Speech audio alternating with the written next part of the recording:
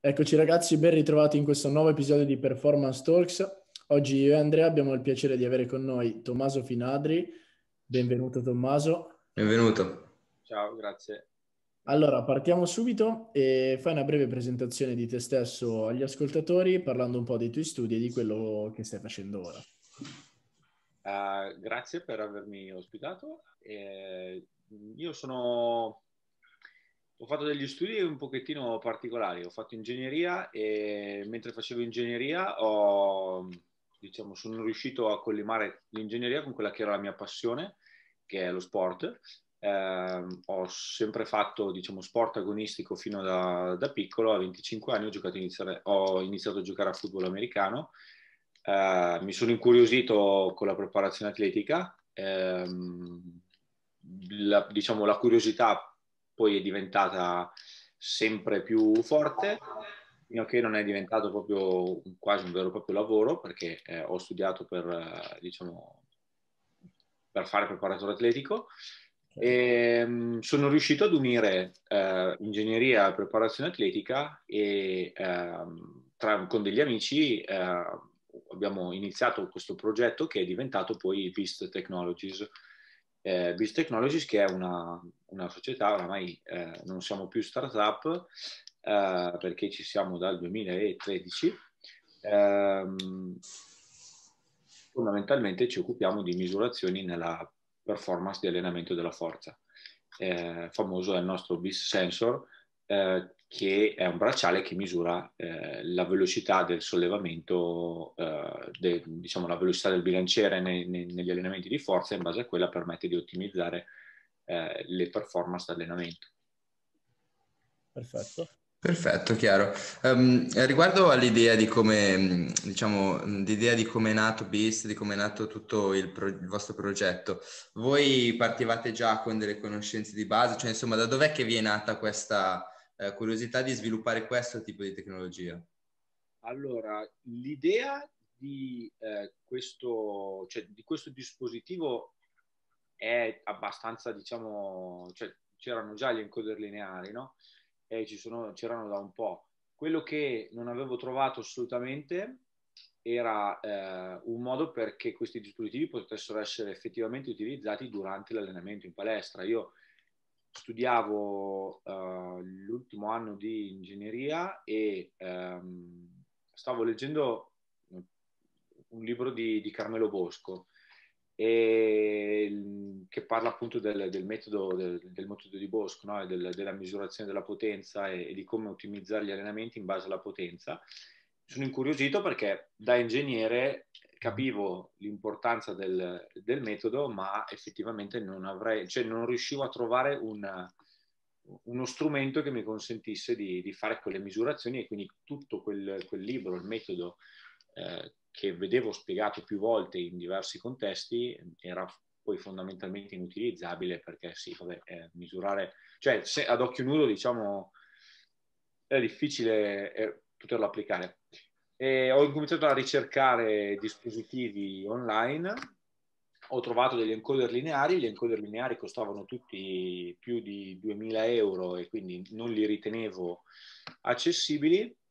Um, fatto sta, un mio compagno di università in quel periodo uh, studiava i MEMS, quindi gli accelerometri, i giroscopi, eh, dispositivi che al tempo non erano assolutamente diffusi, stavano per iniziare la loro diffusione, eh, adesso sono ovunque.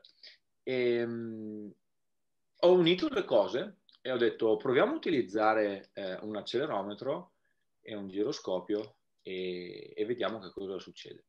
Eh, per un po', diciamo, l'idea è rimasta un'idea, appunto, fino a che eh, non ho incontrato, cioè non ho incontrato, fino a che non ne ho parlato con eh, un mio amico eh, d'infanzia eh, che è Vittorio, eh, Vittorio Endler, e, e, abbiamo incominciato a parlare di come potevamo effettivamente sviluppare questo progetto, per cui poi diciamo tutti avevamo il nostro, lavoravamo, studiavamo, insomma avevamo i nostri impegni, abbiamo incominciato a incontrarci nei weekend eh, abbiamo incominciato a reperire insomma, le, i dispositivi e ci siamo chiusi in palestra praticamente nel mio studio dove, eh, dove lavoravo e abbiamo sviluppato il prototipo del progetto. Eh, Vittorio poi è molto intraprendente e ci ha iscritto uh, a una competizione per startup a Milano.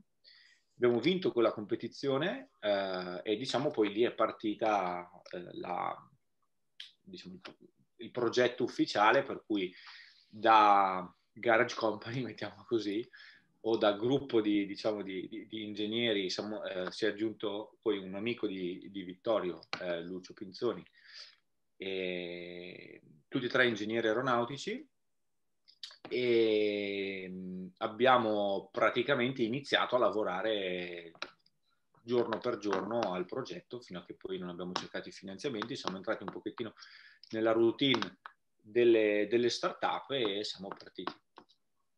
Bene.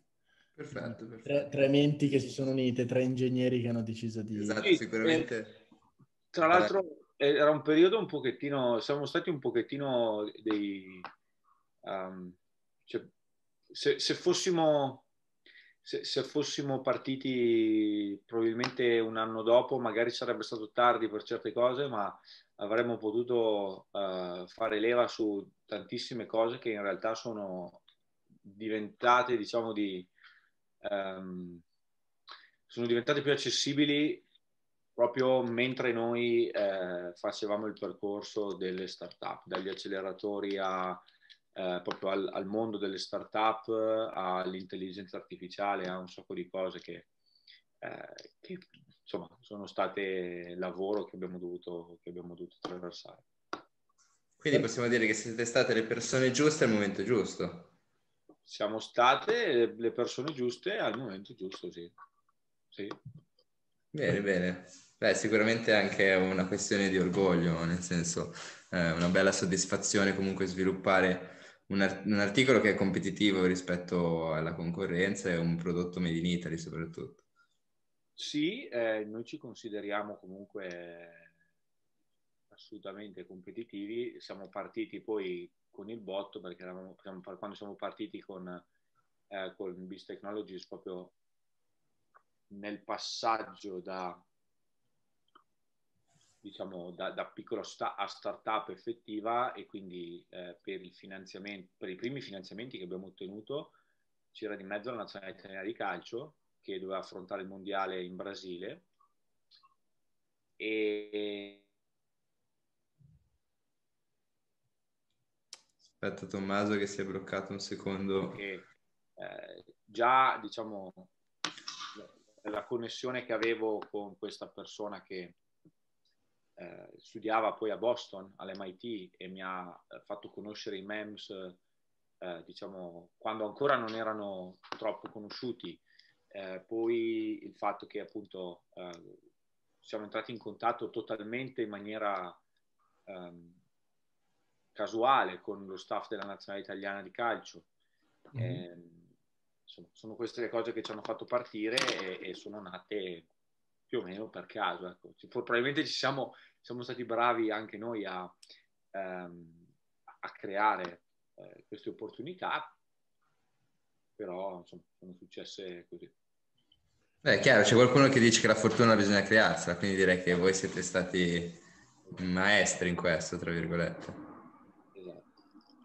Ok, Tommaso, parlaci un po' di più, se hai voglia, del vostro prodotto, nel senso di cosa serve, come, lo, come bisogna utilizzarlo, quali sono i dati che vanno presi, un po' in, in questo senso, uh, per entrare nel dettaglio. Guarda, l'idea dietro, dietro, a Beast è quella di avere un compagno di allenamento per, la, per, diciamo, per, per le esercitazioni, per gli allenamenti che riguardano la forza, la potenza, esattamente come uh, un cardiofrequenzimetro potrebbe essere, cioè può esserlo per chi fa diciamo, allenamento aerobico. No? E, um, l'accelerometro, quindi, uh, o meglio, le, le, le, uni, le, IMU, quindi Inertial Measurement Units, quindi i sensori uh, composti da accelerometro, giroscopio e magnetometro, sono un pochettino lo strumento che è più versatile per le misure in questo campo. E, e quindi avere un, un, bracciale che si può connettere col telefono e fornire le indicazioni principali, prima di tutto costituisce una, un aiuto incredibile in termini di motivazione e di, uh, di feedback, uh, perché è grazie alle misure che fa un, uh, il, modo, il miglior modo, diciamo, con cui una persona ha di reperire un feedback oggettivo e non quindi soggettivo. Um, forse sapete, eh, le performance, diciamo, giornaliere, il, 100 per, il nostro 100% giornaliero ha delle oscillazioni incredibili eh, solamente in base alla routine che abbiamo. Una notte dormiamo meglio, una notte dormiamo peggio, insomma, mh, mm,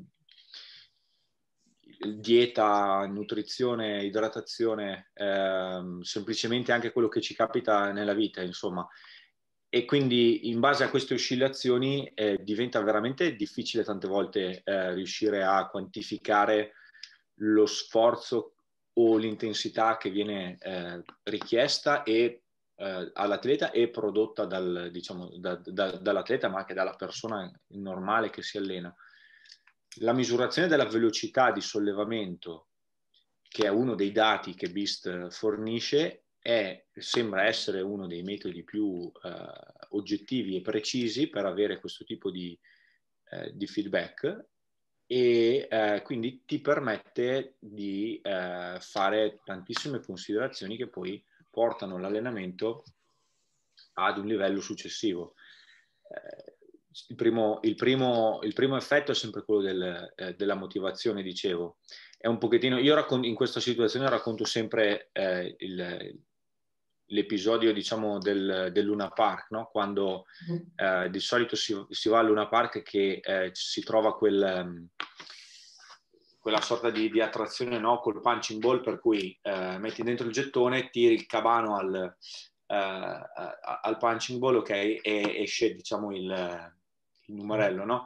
Tra amici immediatamente quello di fianco a te caccia dentro il secondo gettone e cerca di fare meglio ok, e così a giro e tutti mettono dentro il gettone almeno due volte, no? Perché? Perché scatta la competizione, scatta, eh, diciamo, il, il, divertimento, ok? Eh, e quindi si alza l'intensità, diciamo, si alza l'atmosfera, no? E la stessa cosa succede un pochettino con l'allenamento. Se uno già, eh, se uno fa solamente quello che l'allenamento prescrive, eh, diciamo, di solito non ottiene diciamo, grandi risultati, mentre invece se cerchi di metterci energia, eh, c'è questo effetto palla di neve, no? per cui avere un feedback di velocità ti consente assolutamente questa, questa cosa. Per cui alla prima ripetizione di solito, soprattutto con, mi è capitato spesso con, con, con gli atleti professionisti, subito, eh, le prime volte ricordo che cercavano immediatamente di fare, di fare meglio. Aspetto motivazionale, aspetto poi eh, più diciamo metodologico, tecnico, legato appunto all'oggettività del, del, dato e quindi della velocità e quindi del velocity based training, quindi l'allenamento basato sulla velocità che eh, è un, secondo me, un metodo incredibile per eh, prescrivere e regolare, autoregolare anche gli allenamenti. Chiaro, assolutamente. Si può fare una, una breve spiegazione del, del, concetto di velocity training e le sue applicazioni tramite eh, lo strumento? Fondamentalmente il velocity based training eh, consiste nel, uh, nel poter prescrivere quelle che sono eh, peso, ripetizioni, serie, tempo di recupero in base alla velocità. Eh, in base alla velocità di sollevamento eh, di, un diciamo, di una determinata resistenza nella fase concentrica. Okay? E come funziona? Beh, eh, allora, um, innanzitutto si prevede che la persona sollevi sempre diciamo alla massima velocità il, il carico, quindi ci messa, ci, che venga impegnato eh, il massimo sforzo, ok? eh, durante, durante, il sollevamento. Eh, la velocità con cui viene sollevato il carico determina il tipo di forza che viene espresso. Eh, ci sono su Instagram è facile trovare magari qualche, qualche post, qualche meme con cui si dice che la velocità definisce la forza. Eh, per esempio, uno dei, una, delle, una, delle, ragioni per cui è nato BIST è stato che proprio eh, su qualsiasi libro di metodologia di allenamento si legge della curva di Hill. No? Curva di Hill lega la eh, forza espressa con la velocità alla quale questa forza viene espressa o più, semplicemente ancora lega il carico, con cui, eh, il carico che viene spostato alla velocità a cui questo carico viene spostato. Carichi massimali hanno velocità bassissime e sono quindi utilizzati per esprimere la forza massima. Carichi minimi consentono velocità altissime, diciamo le massime che si possono ottenere, e vengono utilizzati per allenare la, for- la, forza esplosiva, la forza veloce. Nel mezzo ci sono tutta una serie di tipologie di forza che solitamente vengono prescritte dai tecnici tramite percentuale, no? Test massimale, percentuale del massimale, formula magica per cui al 70% alleni eh, la strength speed, al 50% alleni la massima potenza, al 40%, 30% alleni la, la speed strength, ok, o la forza esplosiva e via dicendo. L'approccio basato su percentuale appunto soffre del fatto che il nostro massimale, quindi il nostro centro di riferimento, varia tantissimo durante le giornate. Quindi se ho un massimale di panca piana di 100 kg, è capace che in un giorno particolarmente sfigato non riuscirò a sollevare gli 80 kg, mentre in un giorno buono arriverò anche a 110, 115, 120 kg. Questo che cosa fa? Fa sì che tutte le forze che ci sono nel mezzo, quindi appunto le percentuali che io utilizzavo per prescrivere l'allenamento, siano fortemente influenzate, perché se mi baso sui uh, 100 kg di massimale, il 75% appunto sono 75 kg. Eh, se invece sono in una giornata buona, quei 75 kg diventano anche 95-100, percentuale 75% di 120, ok? In una giornata particolarmente cattiva, quei 75 kg, 70 kg sono quasi il mio massimale perché ne sollevo a malapena 80, ok? Quindi passo da fare un'esercitazione di strength speed a un'esercitazione di forza massimale. Ora, eh, recent- recentemente ehm, hanno dimostrato degli spagnoli, eh, González Padillo e, e Sanchez Medina, eh, come in realtà l'intensità del sollevamento, quindi l'intensità eh, riferita come la percentuale rispetto al, al carico massimo, ok? Quindi la percentuale dell'1RM, sia assolutamente definita dalla velocità a cui viene sollevato il carico in concentrica. Questa velocità non cambia mai, o meglio, cambia molto molto molto poco nel tempo e quindi è possibile una, una, trovare una relazione tra la percentuale del massimale e la velocità e utilizzare poi la velocità che è più stabile per prescrivere il carico. Morale, diciamo succo del discorso per chi magari è meno avvezzo ai numeri, facendo delle prove scopro che il mio 70% di panca piana che eh, cercavo precedentemente è sollevato a 0,6 metri al secondo. Ok. E sebbene il mio massimale cambi nel tempo, passerò da 80, 90, 100, 120 progredendo, diciamo, nel tempo stabilmente, la velocità non cambia.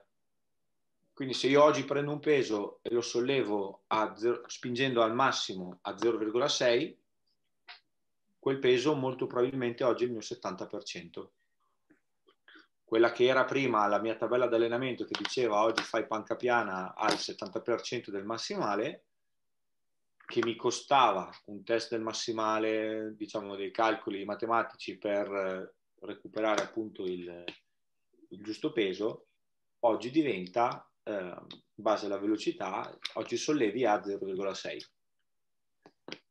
È molto più semplice, è molto più, non molto più, ma eh, autoregoli i carichi considerando automaticamente quello che è il tuo stato di forma. Non solo, è molto più facile andare a capire qual è la forza specifica che stai allenando.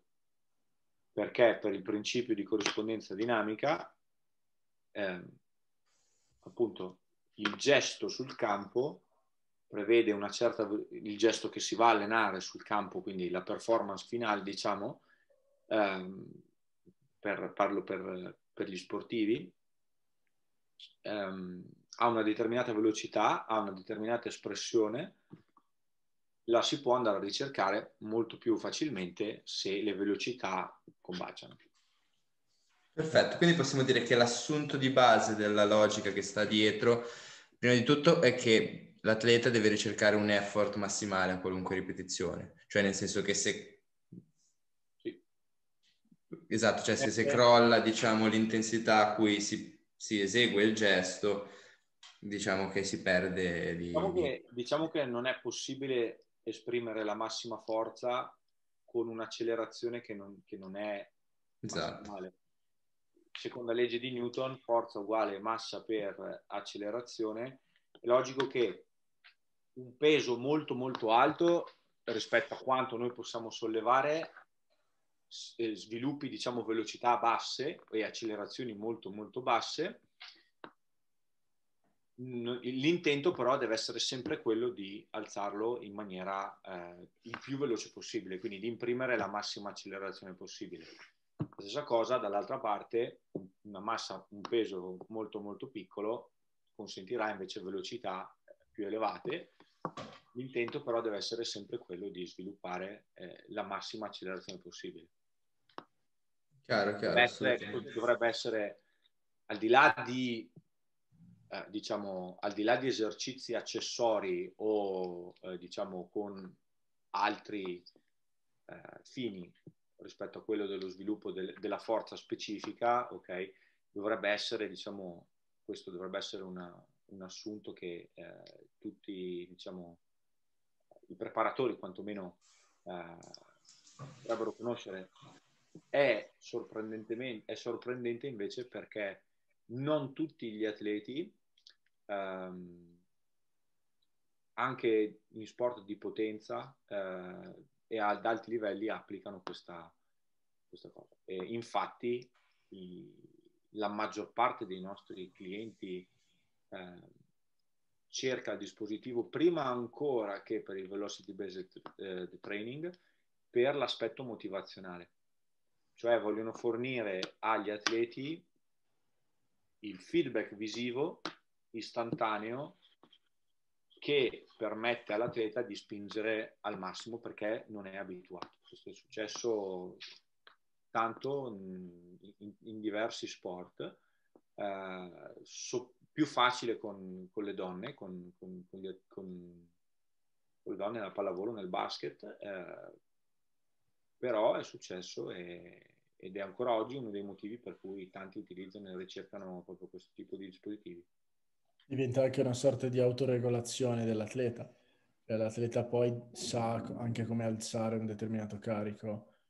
Sì, ti abitui a, cioè, certo, eh, ti abitui dopo, dopo un, un, brevissimo periodo di, diciamo, di, di dimestichezza, ti ricordi che quei pesi li sollevi a quelle velocità e quindi sai subito regolarti proprio sul fatto che, ok, di solito questo peso qua, al di là della, mia, della sensazione che hai durante il giorno, so, mi sento meglio, mi sento peggio di, diciamo, di ieri, però sai che i 100 kg salgono a una determinata velocità e quel giorno lì eh, non la stai ottenendo o stai andando oltre, quindi è una buona giornata.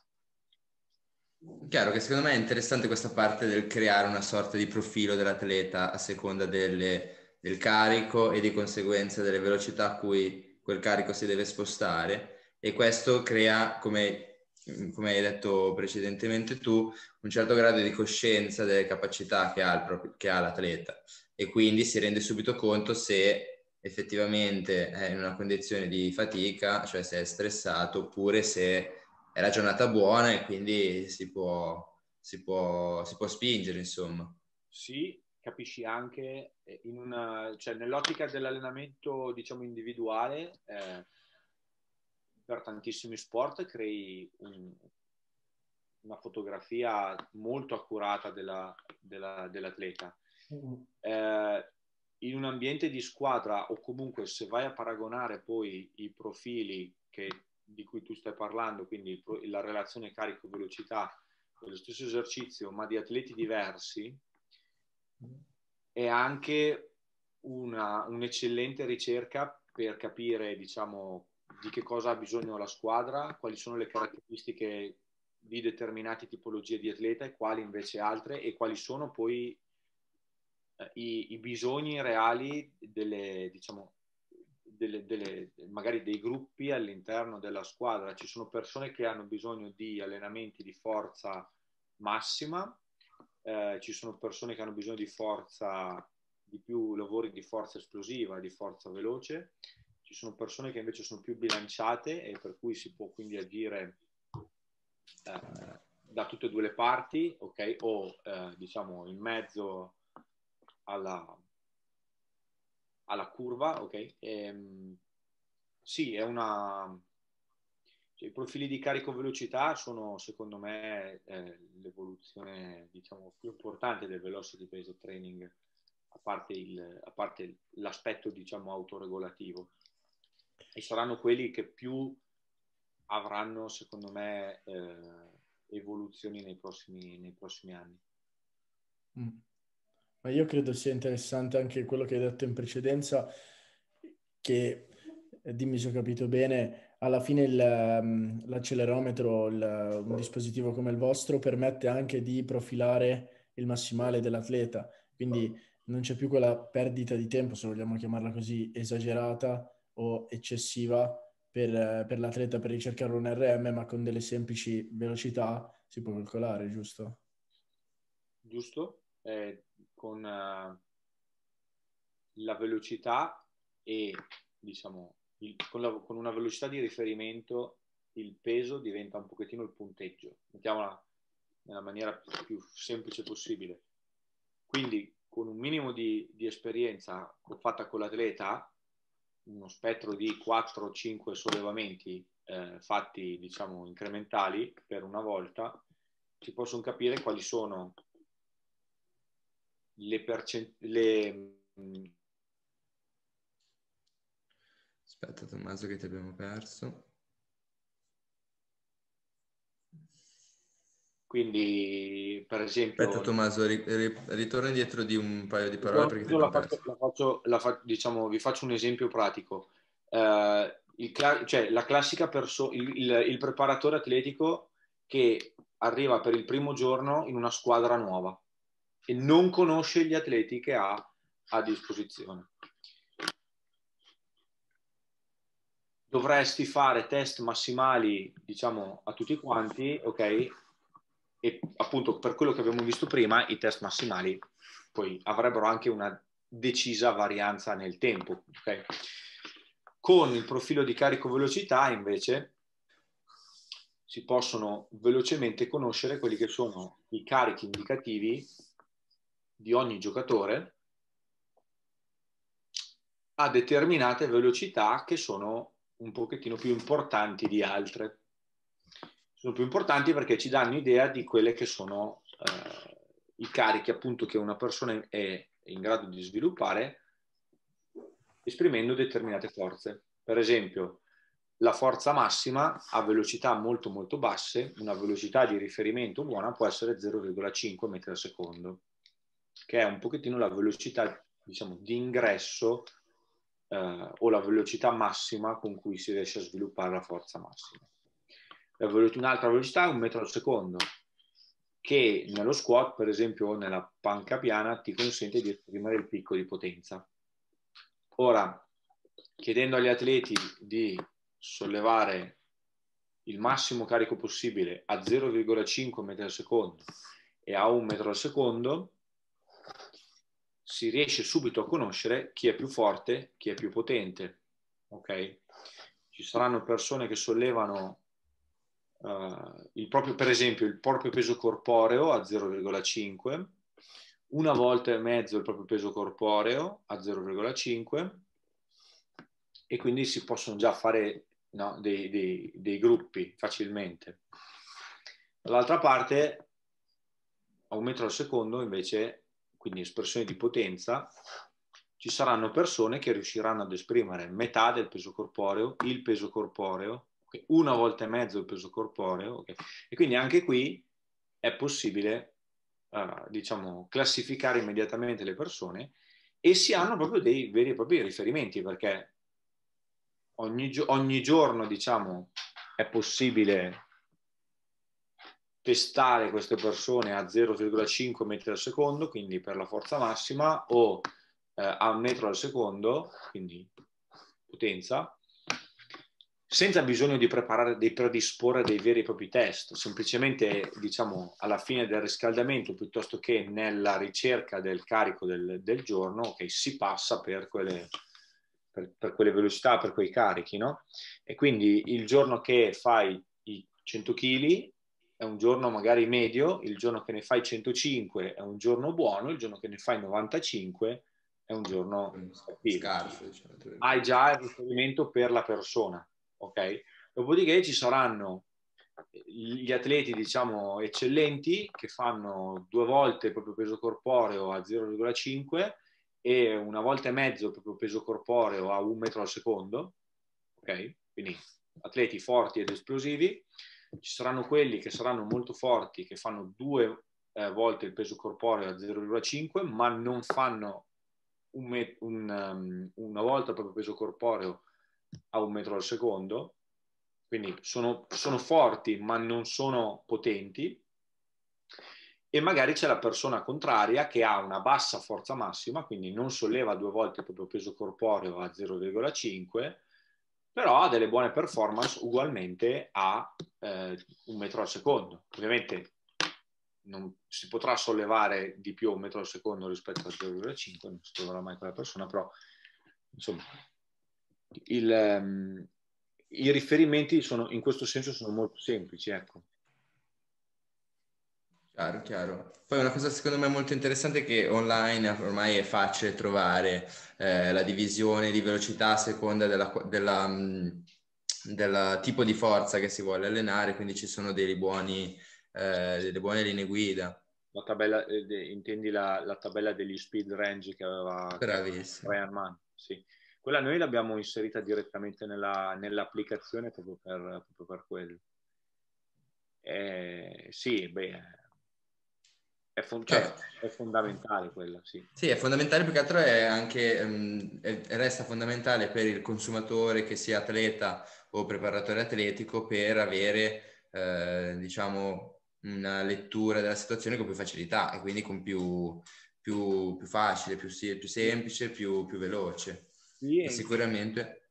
Incomincia anche a, incominciano anche ad esserci eh, in... Uh in letteratura, insomma, non, senza andare a cercare, diciamo, paper di ricerca scientifica, ma anche proprio semplicemente libri sull'allenamento, incominciano ad esserci eh, tantissimi riferimenti a delle velocità specifiche. Chiaro. Per esempio, eh, se guardi, vabbè, eh, Westside Barbell, per esempio, da sempre cita 0,8 come eh, la velocità di quello che dovrebbe essere il dynamic effort, okay? che è la giornata di allenamento più esplosivo, diciamo, eh, e 0,8 un pochettino il confine tra eh, la zona, cioè è l'ingresso nella, nella, nella strength speed, okay? quindi esatto. la zona eh, più pesante del, del, del, picco di potenza. Eh, se vai a leggere i libri di, di Carlo Buzzichelli e di, e di Tudor Bompak, eh, Carlo ehm, consiglia spesso l'allenamento, per esempio, intorno a 0,7 metri al secondo, che è abbastanza, diciamo, in linea con, con il resto. Esatto, sì, sì, sì. Per la forza 0,5 per esempio. Eh, ci sono, ci sono tanti, diciamo, iniziano ad esserci tanti, um, riferi- cioè tanti, tanti, tanti, tante diverse fonti che incominciano a convergere su determinati eh, valori.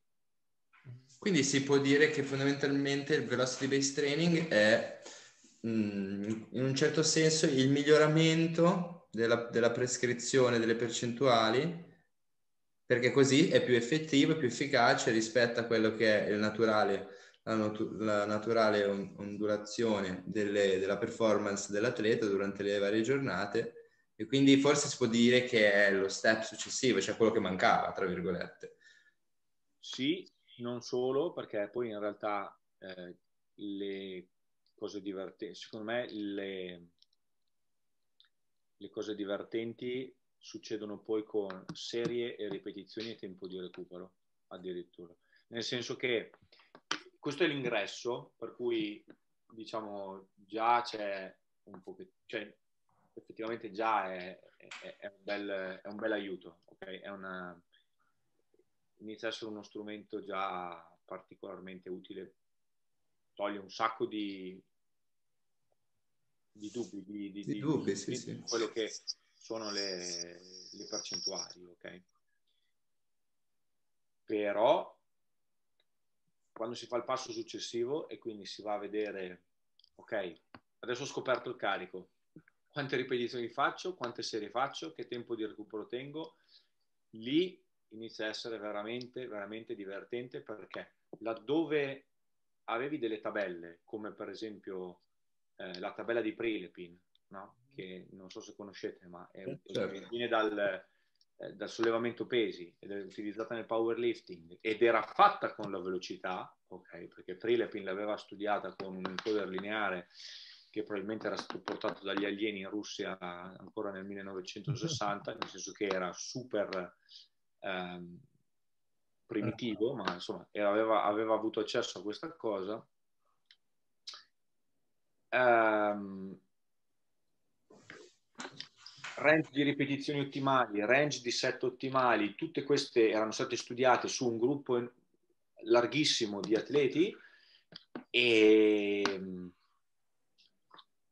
con la velocità Adesso con la velocità è anche possibile fare delle personalizzazioni, è possibile fare delle personalizzazioni in base a, eh, allo sport che si pratica, quindi la stessa persona che si allena per eh, il, il, tennis eh, la, eh, o, o eh, il football americano, che hanno due tempi e modalità di gioco completamente differenti, eh, ne viene fuori magari un, un peso, la velocità sempre uguale, ok, ma serie ripetizioni sì, sì, completamente sì, diverse.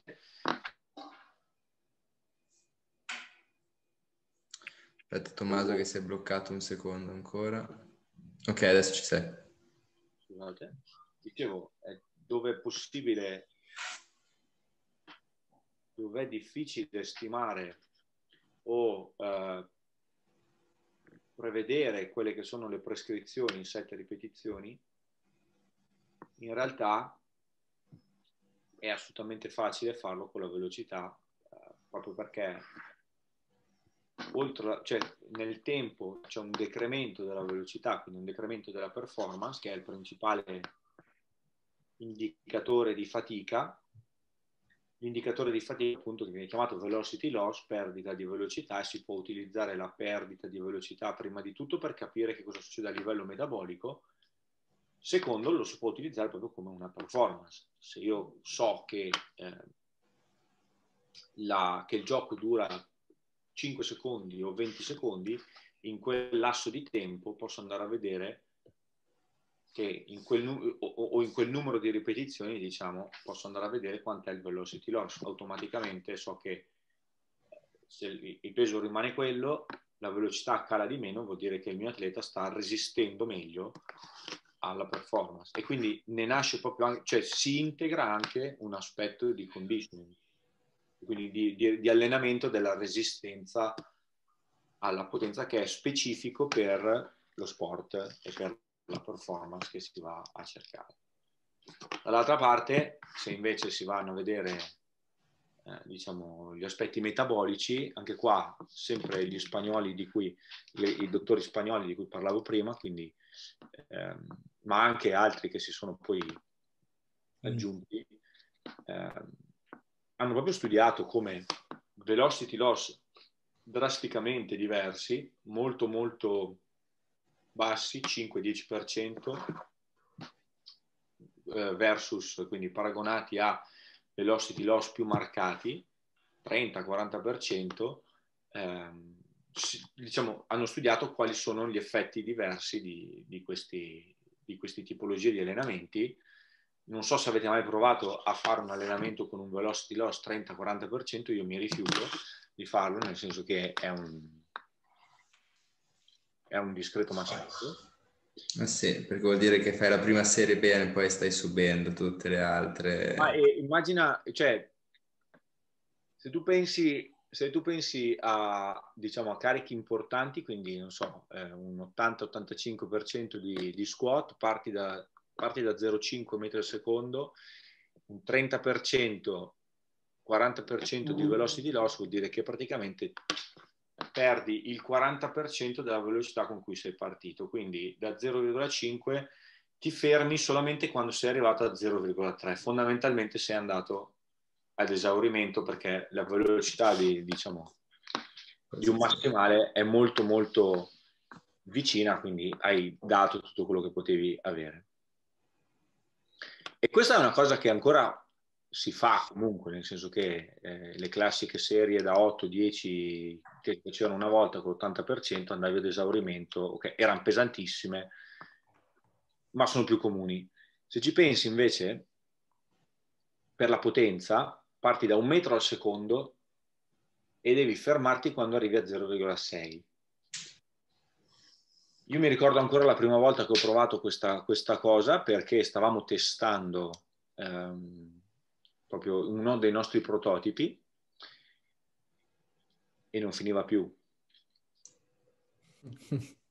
non finiva più, cioè ehm, sono allenamenti che cioè, cambia completamente proprio il, il cambia completamente il livello dell'allenamento. Primo perché spingi molto di più all'inizio, quando invece psicologicamente sei tenuto a rispettare a, darti, a, a regolare lo sforzo. Secondo perché comunque è, è, un, è un, salto veramente forte. Vabbè. Idem il recupero. Esatto. Eh, se, qualcuno di voi, se qualcuno di voi utilizza il clustering come metodo per, eh, diciamo, per, per sette ripetizioni, no? quindi invece che eh, diciamo, cioè si raduna, si... non so come dirlo in italiano ragazzi, scusate. Cioè semplicemente se al posto di fare un 5x3 ripetizioni di fila faccio una ripetizione, 15 secondi, una ripetizione o 15 o poi tempo... Vengono, le ripetizioni vengono un pochettino... Uh, vengono gestite diversamente, vengono gestite temporalmente in maniera diversa. E tantissime persone che utilizzano il velocity based training pian pianino convergono verso il clustering. Perché eh, c'è un'efficienza molto superiore nell'allenamento. Fare 3, fare 3x8, fare 3, cioè mi sembra che oramai sia diciamo, abbastanza comune sui social network o comunque su leggere eh, su blog, su, diciamo, su elettroclocome, fare lo stesso numero di ripetizioni diviso in più serie e meno ripetizioni sia più, tante volte più efficace, soprattutto nell'allenamento della, nella preparazione atletica. No? Quindi fare 24 ripetizioni, per esempio, con un 3x8 o con un 8x3 è molto diverso, con lo stesso peso ovviamente. Con la velocità si vede proprio questo, questo, questo fattore proprio perché la differenza grossa è che nel 3x8 le ultime quattro ripetizioni delle tre serie hanno una velocità che cala molto, no? E quindi un 3x8, un metro al secondo, uso numeri, diciamo, cerco di usare i numeri più semplici possibili perché tante volte, insomma, qua mi, mi, mi, mi perdo l'audience, diciamo. Eh, un 3x8, un metro al secondo, finisce che appunto 16 ripetizioni, quindi due terzi delle ripetizioni sono fatte al metro al secondo. Le ultime quattro c'è un calo drastico della, della, diciamo, de, de, della, della performance e quindi vengono fatte 0,9, 0,8, ok, 0,7. In un 8x3 tutte quelle, tutte quelle 24 ripetizioni sono fatte al metro al secondo e quindi quella tipologia di forza è allenata 24 volte su 24 invece che 16 su 24. Okay. Ora, il, nel, nel, il, passaggio successivo è che nel fare le 8 serie da 3 uno si rende conto che poi alla fine fare il minuto di recupero o fare i 45 secondi di recupero o fare i 30 secondi di recupero ok? Dipende effettivamente o da vincoli dati dallo sport, perché quella è la pausa che viene rispettata nello sport, oppure uno cerca di farli nel minor tempo possibile, per esempio. E quindi cluster training dove invece che fare magari ripetizioni ogni, cioè consecutive, faccio una ripetizione ogni 10 secondi e faccio 24 ripetizioni di fila, praticamente, oppure faccio gruppi di tot ripetizioni che mi consentono di mantenere la velocità. performance costante. Questo dipende dallo sport, dipende dalle, dai vincoli, diciamo, eh, dallo, dello, dello, sport. Io, per esempio, eh, ho iniziato a investigare su questa cosa perché facendo le 8 serie da 3 con un minuto di recupero, facevo, diciamo, tenevo sempre, diciamo, gli stessi valori. Accorciando i tempi di recupero leggermente, quindi passando da un minuto a 45 secondi, addirittura ho, ho visto come si cioè, mantenevo un effetto di potenziamento, per cui dopo un paio di serie addirittura salivo con la velocità un pochettino.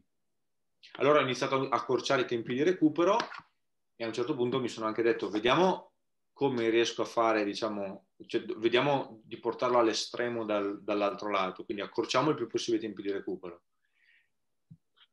E col tempo sono riuscito a, a, ad, ad, arrivare da, dai 40 ai 30 ai 20 secondi per cui adesso come riferimento per il mio sport cioè quindi per il football americano so che quando sono in forma diciamo o meglio nel periodo di, di, di competizioni voglio fare le 8 serie da 3 con 20 secondi di recupero andando al metro al secondo con uh, i 100 kg per esempio Ottimo. Chiaro, molto interessante quest'ultima parte sull'effetto di, post- di, di potenziazione, insomma, che hai riscontrato tra le, le, tra le singole alzate o mini gruppi di, di, di, di eh, ripetizione. Evidentemente, evidentemente c'è, un, c'è, un, c'è un, un, lasso di tempo ottimale, no? Per cui per un... Chiaro. De-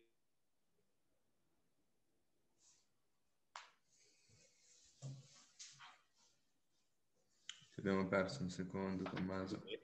Cala e... Sì, scusami, dicevi che si è, si è, si è bloccato un secondino, perdonami. Eh, si riesce a scoprire, si riescono a scoprire tutti questi parametri ottimali che sono diversi, diciamo, tra, tra tutti quanti, eh, perché ognuno di noi funziona poi Chiaro. diversamente, eh, e però si riescono a, si riesce a spingere ancora di più sull'allenamento. Perfetto, benissimo questa parte. Quindi, ehm, diciamo, facendo una, una, una, nota conclusiva, se ci puoi dare una, una, diciamo, un insight su quello che potrebbe essere un allenamento, vengono stabilite delle velocità a cui bisogna mantenere e con un certo grado di, di, di velocity loss, come hai detto, oltre al quale si, interro- si, può decidere, si può decidere se interrompere l'alzata oppure se andare a lavorare altre qualità, giusto? Giusto. Ehm, la, la, in generale la prescrizione degli allenamenti diventa abbastanza semplice quando si, sono, diciamo, si, è preso, si è presa familiarità con i valori diciamo, più comuni di riferimento. Nella squat, nella panca e nello stacco, quindi nei, nei big three, sono molto molto simili anche questi valori, quindi ci si mette davvero poco a, a imparare. Ecco. Chiaro, chiaro. E stessa cosa si può applicare su, eh, sen- cioè quello che voglio chiedere è se c'è una grande variabilità tra magari esercizi di potenza, cioè se c'è un maggior grado, visto che come hai detto squat, panca e stacco più o meno hanno una sorta di più o meno un profilo simile a livello di velocità, nel caso in cui si voglia lavorare le forze massimali, come ci si comporta invece sulla parte più di potenza. Intendi quindi gli esercizi per esempio olimpici? Bravissimo, esercizi olimpici, squat jump e varie allora, derivate. In, impari immediatamente come diciamo, determinati esercizi abbiano dei range di velocità, si fa veramente fatica ad uscire da quei range di velocità e quindi ad ogni, ogni esercizio, o meglio, io incomincio a parlare di movimento più che di esercizio perché eh, poi alla fine quello che conta, ma eh, come ogni movimento abbia, delle, poi abbia un range appunto di velocità e quindi sia in grado di sviluppare bene determinate forze. Chiaro, chiaro. Se, prendete, se prendete per esempio il, la girata, solamente la girata, quindi facciamo il power clean, ok? Quindi la girata con... Uh, ricevendo, la, la, ricevendo il bilanciere diciamo in alto, non in accosciata, ma a gambe tese, semitese, insomma, è difficile scendere sotto a 0,7 metri al secondo. È difficile Chiaro. fare un power clean sotto. Che resti sotto. Ma proprio per la natura biomeccanica del gesto, dici che quindi è difficile che... Sì, mm. nel, senso che, nel senso che poi cioè, inizia a diventare una tirata al mento. Okay. Bravo, sì, un po' brutta insomma, cioè che viene un po' brutta anche da vedere. Non è... Mentre invece, per esempio, eh, lo strappo, quindi facciamo un power snatch, è, ancora più veloce, quindi è difficile scendere sotto al metro al secondo. Chiaro, chiaro, assolutamente. Però beh, è molto interessante valutare tutte le, diciamo anche la tipologia di di esercizi. E... Esatto, esatto, sono tipologie di esercizi che non vanno bene per allenare la forza massima, o meglio, sono meno adatte per allenare la forza massima, sono molto più adatte per allenare la forza esplosiva. Sì, parti della forza. Allora, dal, dall'altro punto di vista, ovviamente, eh, con lo squat è difficile senza saltare superare gli 1,4 metri al secondo Okay? Se trovate una persona che è in grado di squattare magari da un box, quindi senza diciamo, eh, l'elasticità del movimento, eh, un peso importante a 1,3-1,4 metri al secondo, siete di fronte a un atleta che insomma ha parecchio potenziale. Chiaro, c'ha dei, c'ha dei bei, come dire, c'ha delle belle gambe, nel senso che è un bel, un bel fucile, insomma. La stessa, cosa, la stessa cosa ti insegna, per esempio, come invece, prende, invece che prendere in considerazione il power clean, prendi in considerazione un clean, eh, diciamo, pieno, quindi Completo. girata con la ricezione in squat e, e, poi anche il front squat, quindi la, la, la risalita, allora diventa un esercizio in cui alleni la prima parte in maniera molto esplosiva e una seconda parte in cui alcuni riescono ad allenare la forza massima perché eh, il front squat può essere anche molto molto lento, piuttosto che insomma altre, altre forme di, di forza. Chiaro.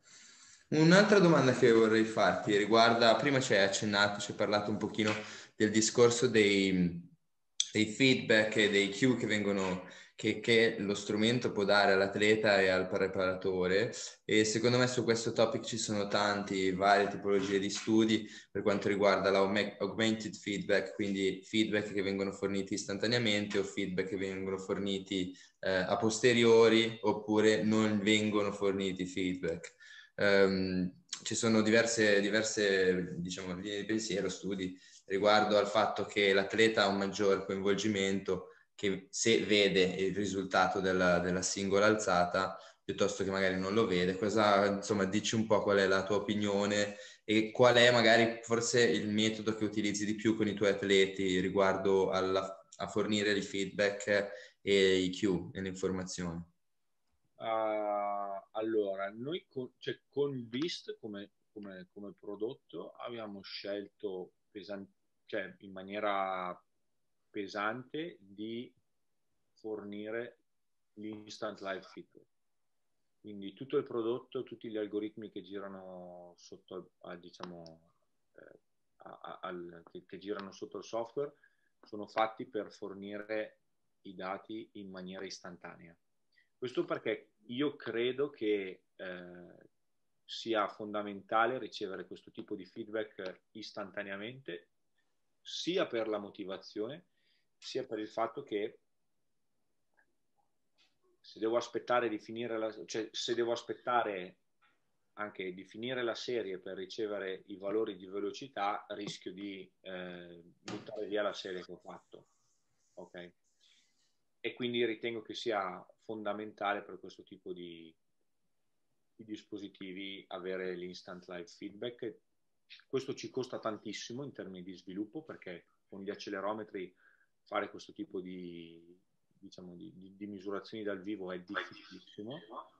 Eh, infatti, diciamo, è costante la diatriba tra encoder lineare no, e, e, accelerometro. L'encoder lineare ha il vantaggio che il dato di velocità è misurato direttamente, insomma, e, e, o, o, meglio, non è la misura che, che non è affetta da, da nessun tipo di, di rumore, di disturbo, versus un accelerometro in cui il dato è stimato da algoritmi. Uh, come allenatore ritengo che, uh, ho, cioè, ho visto invece scelte diverse anche. C'è l'allenatore che assolutamente, ovviamente, eh, abbraccia questo tipo di, di scelta eh, e quindi dà direttamente all'atleta la misura visibile noi per questo abbiamo fatto anche una leaderboard che è disponibile con, con i prodotti, per esempio, di più alta gamma, quelli per, per, per le squadre, e quindi gli strength pack, eh, per cui tutti gli atleti, i dati di tutti i BIST vengono raccolti e messi a disposizione su una pagina internet e, e tutti gli atleti sono un pochettino in competizione, anche se non sollevano allo stesso, allo stesso rack, insomma. Dall'altra parte c'è anche il... Eh, ho visto anche tanti allenatori che invece non mettono a disposizione la misura all'atleta, ma la tengono solamente per loro stessi per semplicemente capire se stanno utilizzando il peso o meno. Questo perché in alcuni contesti eh, poi l'atleta pensa troppo alla spinta e troppo poco alla tecnica e quindi diciamo poi la, la, l'esecuzione del gesto ne viene meno e, e, e quindi a catena diciamo, cadono determinate, determinate, cose. Piuttosto che ho visto anche allenatori eh, in campo femminile che hanno fatto la, che hanno, diciamo, che prendono la, la curiosa scelta di non mostrare proprio eh, affatto le misurazioni agli atleti questo è successo soprattutto con atleti, eh, con atlete, donne, perché ritenevano che fossero, diciamo, psicologicamente troppo influenzate da questa cosa e non volevano, diciamo, che eh, l'atleta soffrisse di alti e di bassi troppo eh, marcati, insomma. E quindi fondamentalmente si teneva, si teneva per sé i dati. Mm, non ho, diciamo, io personalmente quando posso metto, cioè, metto a disposizione, credo che sia, diciamo, eh, abbastanza, un, cioè che, che, che, ci siano tantissimi pro e pochi contro, ecco. Il motivo per cui non, non faccio, cioè il motivo per cui non, non mi limito, diciamo, eventualmente nella, nel, nell'esposizione è semplicemente che uno perde completamente di vista la tecnica in esercizi che magari sono un pochettino più comple- com- complessi. Una cosa in cui secondo me aiuta tantissimo, eh, soprattutto in questo periodo, in quest'ultimo anno dove ahimè siamo tutti chiusi in casa e è difficile allenare di persona, è l'allenamento a distanza. Nel senso che la prescrizione dei carichi, è, io alleno i miei compagni di squadra, i miei, diciamo, i miei amici nel, nel football americano da otto anni e non sempre ho, anzi ho poco avuto l'opportunità di, di allenarli eh, diciamo con me perché io ero a Milano e loro erano a Roma per esempio. E secondo me cioè, n- non esiste un metodo fa- così facile, così efficace come la velocità per prescrivere i carichi, nel senso che le percentuali che si utilizzavano, cioè che io dico si utilizzavano, ma ehm, se lasci l'atleta indipendente in queste cose succedono spesso dei mezzi disastri, sessioni di allenamento completamente perse, con la velocità sei sicuro che non ne sbagli una. Chiaro, chiaro, ti permette di standardizzare l'idea, diciamo, di fornire un, un, un programma più facile da, da attuare e, e, di non lasciare che l'atleta, come hai appena detto, si faccia prendere la mano fondamentalmente e magari... Comunque la classica cosa che succede è esatto. l'atleta che fa il, cioè è, è la situazione all'80% in cui no, è, l'ego dell'atleta prende il sopravvento e quel giorno non ne hai, però ne devi avere perché non è possibile che non ce li hai, quindi quello lo sollevi e anche se lo sollevi a un centimetro all'ora, ok, eh, fai lo stesso quel peso perché sai che la volta scorsa hai fatto quel, cioè l'hai sollevato, no? Chiaro, chiaro, assolutamente. Infatti un po', se posso, è un po' la, diciamo, la critica che viene mossa al velocity based training, che qualche, qualche atleta più, più sport di forza, eh, dove magari si ha questa attitudine nel, diciamo, passatemi il termine, tirare le alzate, eh, bisogna insomma eh, tirare fuori sempre il meglio di sé in qualunque giornata, la vede, la, la vede un po' di, di, di cattivo occhio. Mm, questo un po' immagino che sia diciamo una, una, una, vostro, una vostra sfida, tra virgolette, cioè educare anche. È vero, io posso solamente cioè, raccontare la, la mia esperienza, nel senso che ancora una volta è personale, ok? I miei diari di allenamento da settembre a novembre, tutti gli anni prima che utilizzassi il Velocity Based Training, alla fine avevano verso novembre una, una settimana con scritto sono troppo stanco, scarico, non ce la faccio più, ho ridotto i carichi, non mi sono allenato e via dicendo. Perché? Perché tenevo il programma di allenamento senza accorgermi che magari esageravo, non recuperavo, fino a che mi rendevo conto che avevo più giovamento nel fermarmi e recuperare piuttosto che... che...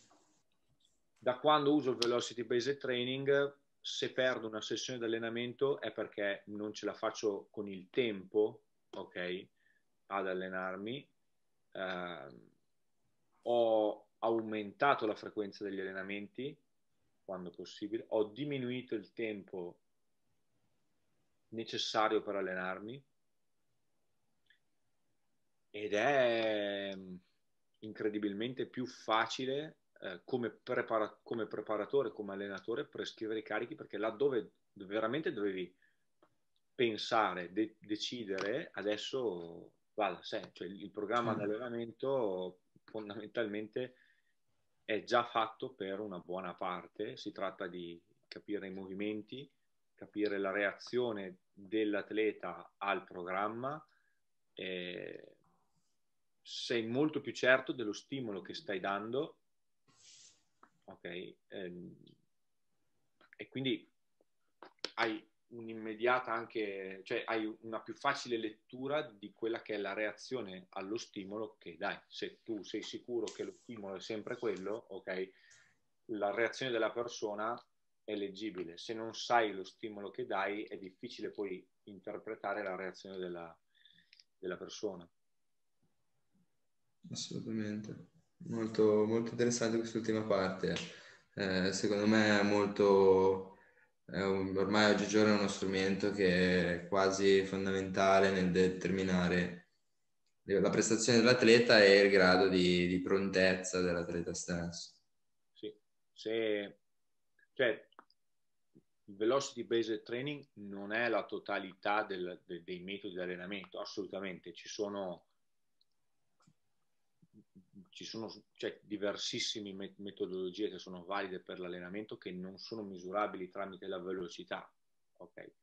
Però rimane che per quello che riguarda lo sforzo dinamico, è la soluzione a quello che un, diciamo, un tecnico dovrebbe fare. Perfetto. Bene. Ricky, passiamo alla prossima domanda. Non farà te, no? Faccio io, faccio io, va bene. Um, una cosa secondo me interessante per quanto riguarda sempre il velocity based training e lo, diciamo la variabilità della velocità con cui si eseguono eh, gli esercizi è appunto la predizione di un miglioramento dei termini di massimale. Come dicevamo prima, non c'è più bisogno di um, dover testare e quindi dover fare tutto il protocollo di riscaldamento e di in progressione con i carichi, ma si può determinare se c'è stato un miglioramento del massimale tramite la velocità. Spiegaci un pochino questa cosa, ehm, come funziona, insomma, la predizione dell'ipotetico nuovo massimale. Allora, vi faccio un esempio pratico, perché eh, alla fine può essere, diciamo, la, secondo me la minore, è la maniera più semplice per spiegare questa cosa. Ora prendete lo squat eser- o la panca piana, okay, che sono esercizi che hanno un range di velocità molto, molto simile. Facciamo, lo semplifichiamo ancora perché diciamo, prendiamo dei valori molto molto facili da, da ricordare. Okay? Allora lo squat e la panca vanno da 0,3 metri al secondo sì. a facciamo 1,3 metri al secondo ok? Giusto per prendere quello che è un metro al secondo di range.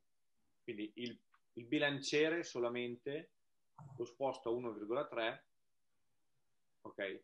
Il massimale lo sposto a 0,3, cioè un metro al secondo di differenza. Ok? Tra questi carichi la relazione tra il carico e la velocità è lineare, quindi io posso tirare una retta che predice a che velocità muoverò determinato carico. Come utilizzo, questa, come, come utilizzo questo, questo concetto, questa relazione? Senza esagerare con diciamo, i carichi, quindi stando lontano dal massimale, io posso prendere un 80%, quindi 0,5, posso prendere un 50%, quindi un metro al secondo più o meno, un pochettino meno, 0,9, e posso prendere un carico molto molto um, leggero, ok? Il bilanciere è quindi 1,3 metri al secondo. Okay? Ho queste tre velocità di riferimento, 0,5, 0,9, 1,3.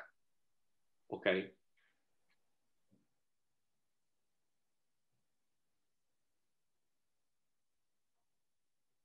Tommaso, ti abbiamo perso un attimo. Di solito... Ti abbiamo perso un secondo, scusaci. Riesci a fare un piccolo rewind? No, abbiamo queste tre velocità di, di riferimento, yeah. no? eh, vado dalla più veloce, quindi carico più basso, 1,3, 0,9 metri al secondo e 0,5 metri al secondo. Ok? Qualsiasi sia il carico che io vado a sollevare quel giorno, qualsiasi tipo di allenamento io voglio fare quel giorno, farò un warm up e salirò col carico progressivamente. E quindi è facile che io incontri queste tre velocità, no? Ok. Allora, queste tre velocità mi possono uh, servire come fari per misurare la prontezza, la readiness okay, dell'atleta quel giorno. 1,3 è una velocità relativamente alta ed è un'espressione di forza esplosiva. Il carico che sposto a quella velocità mi dice la prontezza che quel giorno l'atleta dimostra per quanto riguarda la forza esplosiva. 0,9 è una velocità che è molto molto vicina al picco di potenza 0,5, dicevo all'inizio di, di questo podcast, è l'ingresso nella forza massima. E quindi io facendo il riscaldamento, diciamo, con tre pesi, so,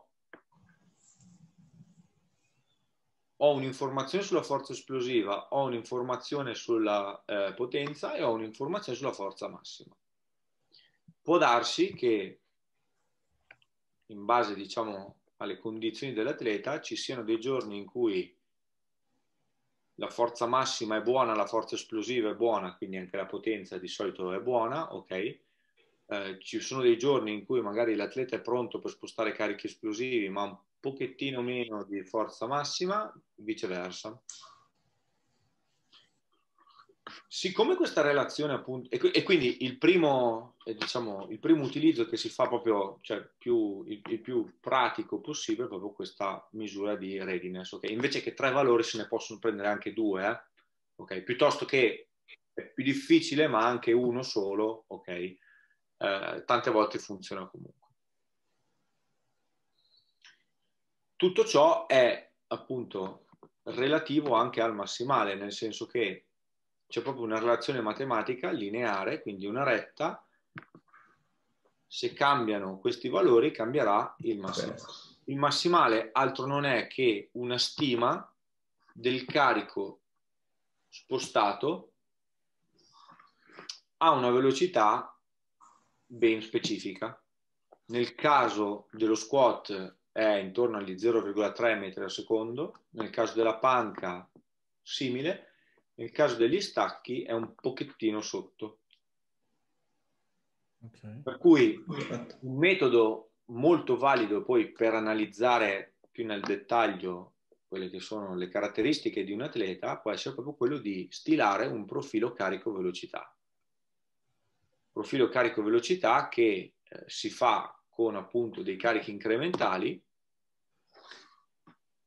si prende il, si misura diciamo, la velocità a cui è stato spostato un determinato peso, si prendono dei pesi che siano distanti sia in termini diciamo, di, di, di peso che anche di velocità espressa e poi eh, si fa un'interpolazione lineare, quindi si traccia la retta che passa più vicina possibile ai, alle coppie di punti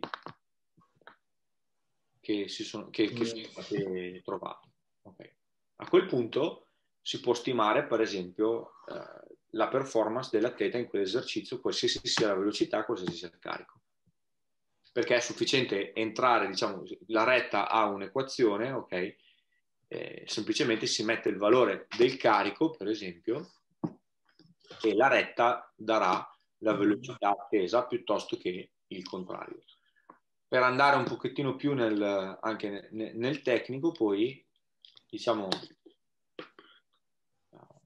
il concetto è quello del, dell'area sotto alla curva, quindi dell'area, immaginate eh, la retta che si crea a, un triangolo, no? Quindi massimale e eh, velocità massima, mettiamola, quindi la velocità massima che riesce a esprimere con un carico nullo. Eh, questo triangolo ha un'area maggiore, maggiore è la capacità del soggetto di esprimere potenza. Quindi, diciamo, geometria di base massimale per velocità massima diviso 2 mi dà una stima della potenza massima che questa persona è in grado di esprimere. Se il massimale aumenta ma la velocità massima diminuisce, potrebbe essere diciamo, un problema per le performance esplosive della persona. Viceversa, se la velocità aumenta ma la forza massima decresce, c'è un calo di, di forza massima. Di solito quello che si cerca, se conoscete il metodo coniugato, funziona proprio su questo tipo di, cioè alla fine funziona su questo tipo di, di concetto. Faccio una sessione in cui alleno la forza massima, quindi tiro una martellata alla curva da questo lato, spero che di qua rimanga tutto fermo, alla volta dopo faccio una sessione esplosiva di modo che tiro una martellata in qua alla curva, una martellata in qua, una martellata in qua, una martellata in qua, una martellata in qua, la potenza praticamente continua a salire, la forza massima continua a salire, la forza esplosiva continua a salire. Il concetto è un pochettino quello. Ed è, diciamo, la reazione del soggetto a questo tipo di allenamento è anche il motivo per cui eh, è sempre utile, secondo me, ehm, allenare sempre due velocità diverse. Perfetto, bellissimo, fantastico Tommaso, erano esattamente quello che volevamo, volevamo sapere. Insomma. E quando hai a disposizione, cioè questi sono, secondo me, sono tutti ragionamenti che eh, se applichi diciamo, questi metodi eh, senza dati, senza misurazioni, eh, devi avere un determinato intuito, una determinata intelligenza per, eh, per, per arrivarci, no? per, per maturarli e ci impieghi tanto. Ci impieghi tanto. Se hai a disposizione i numeri, vengono immediati. Devi avere una, una buona dimestichezza con, uh, devi avere una buona dimestichezza con i numeri. Chiaro, assolutamente. Poi reputo che sia cioè, uno strumento che... Cioè, perché non averlo? Nel senso che comunque eh, anche la capacità di lettura dell'allenatore, eh, essendo noi esseri umani, eh, c'è un certo grado di, eh, di, errore per forza di cose. Il dato invece è il dato, eh, cioè il numero è quello, non so come dire. Cioè, come ogni tecnico ha la calcolatrice, o diciamo lo strumento, uno strumento che misura la velocità è diciamo il, il, uno strumento essenziale del, del preparatore atletico sicuro, eh, di tanti anche personal trainer che applicano determinate metodologie sicuramente